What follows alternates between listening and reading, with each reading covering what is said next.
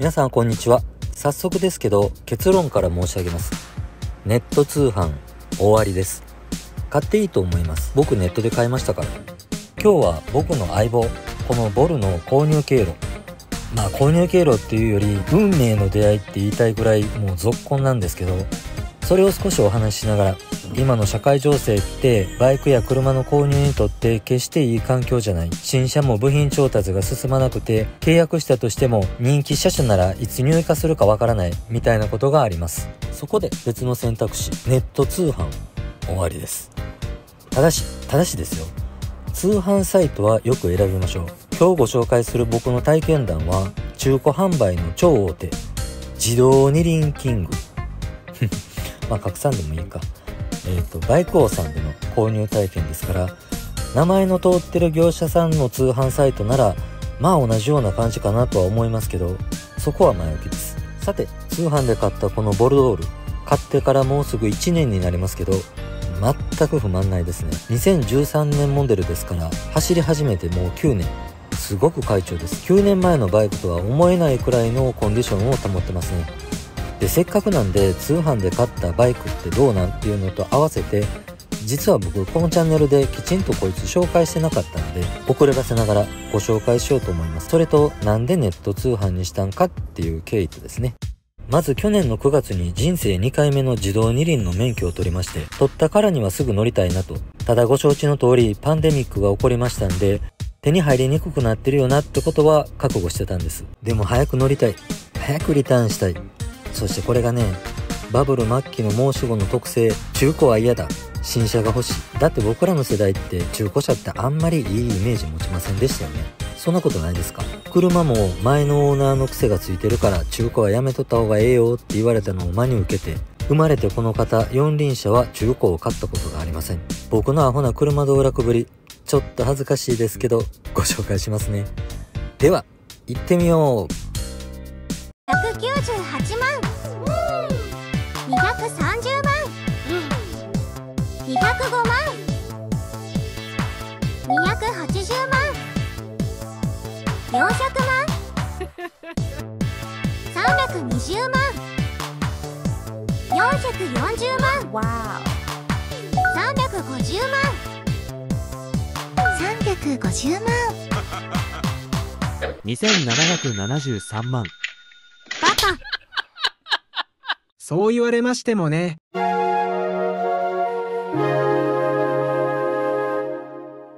ひどいでしょ。こんななんで、こんな性格なんで、27年前に買ったスーフォアももちろん新車です。あの頃で80万超えてましたかね。で、そのノリで今回もスーフォアの新車でも買おうかなって思ってディーラーに電話しました。ここからが本題のなぜ中古通販になったのかっていう始まりなんですけど、その電話のやり取りをちょっと再現してみますね。電話電話。ディーラーディーラー。えっと。どうかな。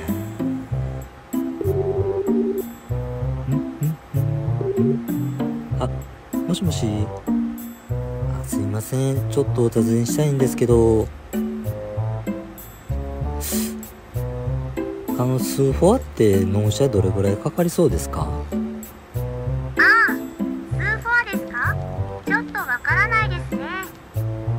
えわからない？はいわからないですね。じゃあ GB350 はどうですか？GB ですか？今58人待ちです。あ待ちといっても納車待ちではなくて予約待ちですけど。え予約待ちって予約するのを待ってるんですか？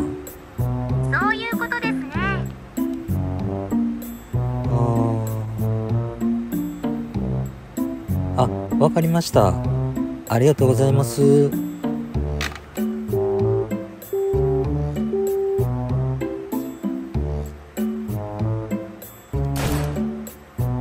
はい、こんな感じやったんで、まあこの頃はほんまに弾がなかったみたいなんで、仕方がない言うたら仕方がないんですけど、ここで初めて人生初の中古車に手を出すっていうのが現実味を帯びてきました。そこで一回ネットで見てみようって思って、スマホで検索したら、たまたまそれがバイク王さんの通販サイトだって、あ、いっぱいあるやんって思って、くるくるスクロールして見てたら、1台目を引かれたバイクがあったんですね。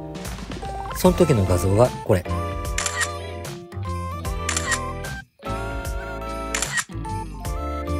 はい、ボルです。で、引かれた一番の理由が、この脇についてるサイドバッグ。これとバイクのバランスがかっこええなーって。バイクがかっこええんちゃうんかみたいな。でもこの時はねこのバイクの名前すら知らなかったですからね。でご飯食べて風呂入ってで風呂入りながらあれかっこよかったなって考えながらそして寝る前にもう一回見とこかってスマホを開いてさっきのサイト開いたらさっきは結構くるくるスクロールしてから出てきたのに今度はスクロールする前にもう前から3台目に表示されてる。え？こんな早なくなってくの？やばいやばい。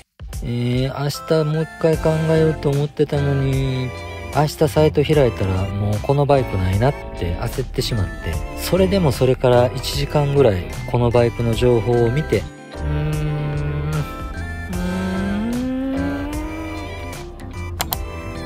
ポチってしまいました。あれは夜中の2時過ぎでしたね。人生初中古バイク。しかもネット通販。しかも夜中2時過ぎ。しかも2万9000キロで87万円。しかも結構気づいてる。よう押したな。思ってで次の日のあ違う。その数時間後の朝に早速メールが届きました。1回目は受付センターから見積もりと購入意思の確認。2回目は受注完了のお礼と実店舗への引き継ぎ案内でした。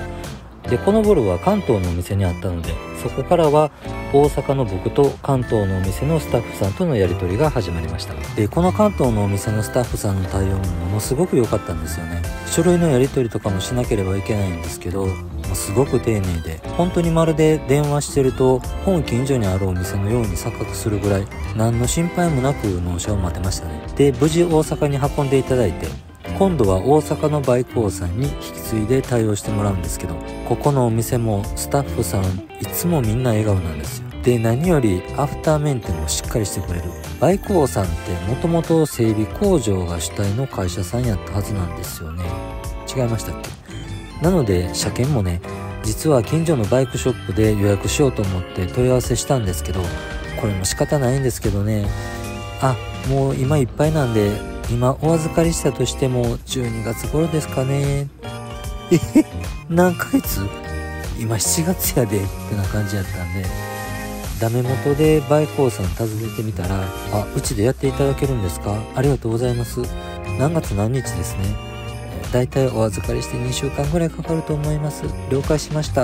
いやそれでさっき預けてきたんですけどね。なのでこの一連の納車から日常のバイクライフに至るまで僕はネット通販の中古車市場全く肯定的です。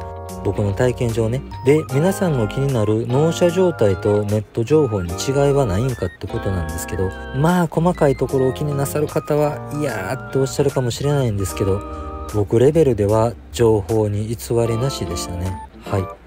結果としてネット通販でバイクを買うっていうこと。うーん。リアル店舗で買うのとそんなに変わらない？いやー適度な距離感があってでも信頼できて安心できる。僕には合ってる。そして今一目惚れしたバイクが名前も知らなかったあいつをどんどん好きになっていく。うん。大満足です。はいそれではこのボルドールの紹介ですけどいやすいません。僕他の方みたいに専門的なレビューとか全くスキルないんでどうです？かっこいいでしょ？うってしか言えないんですけどね。一応やってみましょうか。でこの方は2013年モデル限定受注生産の700台限定の特別使用車です。まあ9年前のモデルなんで ABS なんか当然ついてませんしライトももともとはハロゲンですね。でカウルの形状なんかも現行型の方がちょっと細身でシュッとした感じなんですけど僕はこの方のポテってしたカウルも好きですね。でも本田さんほんまにこれ作るのやめはるんですか？もったいない。なんかおかしい。ほら見てくださいこの立ち姿。めちゃくちゃ凛々しいですよね。僕物にあんまり愛着湧く方じゃないんですけど何なんですかねこの命を感じる？って言ったら怒られるかもしれませんけど僕はこいつに命を感じますね。僕に一目惚れされたがために遠く関東からはるばるこの大阪まで来てくれてこうやって一緒に走って楽しませてくれて多分これまでのオーナーさんにも大切にされてたんやと思いますわ。可愛らしいから。頼もしいから。そして黙って僕の行きたいところに連れてってくれる。感謝してます。こいつここ怪我してるんですよ。これどんなこけ方しはったんだろうね。大丈夫やったんかな。まあお前は多分オーナーさん守ってるやろな。うん。でもこれは直しませんよ。こいつの生きてきた証やからね。